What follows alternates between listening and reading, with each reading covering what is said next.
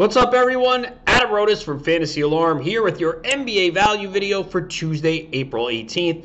Three playoff games tonight, and we start at point guard with Derrick White of the Boston Celtics.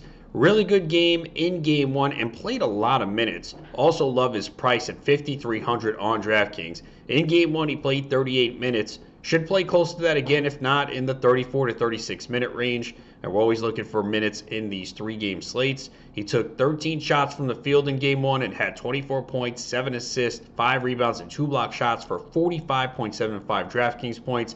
It's a pace up spot here against the Atlanta Hawks. At shooting guard, we'll go with Immanuel Quickley. Josh Hart is listed as doubtful after hurting his ankle in game one. That means Quickley should see an increase in minutes and usage. He only played 23 minutes in game one, but if Hart is out, that will go up. And before the last game, he had at least 22 points in seven of his previous eight games. At small forward, we'll go with Bogdan Bogdanovic. He had 28 minutes in game one and took 10 shots from the field. He had nine points, four rebounds, four assists, two blocks, and two steals, and two threes for 28 and a half DraftKings points.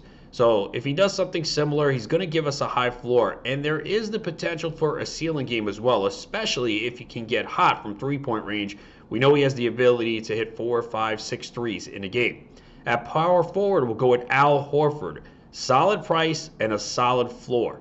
We saw in game one, he played 38 minutes. That's a big uptick from what we saw in the regular season, but in the playoffs, that's going to happen. A couple of days off as well. And he does a little bit of everything. Uh, in game one, six points, nine rebounds, two assists, two blocks, one steal, and two threes for 26.25 DraftKings points. So if he gets you in that 26 to 30 point range of fantasy points, that's a solid value for tonight.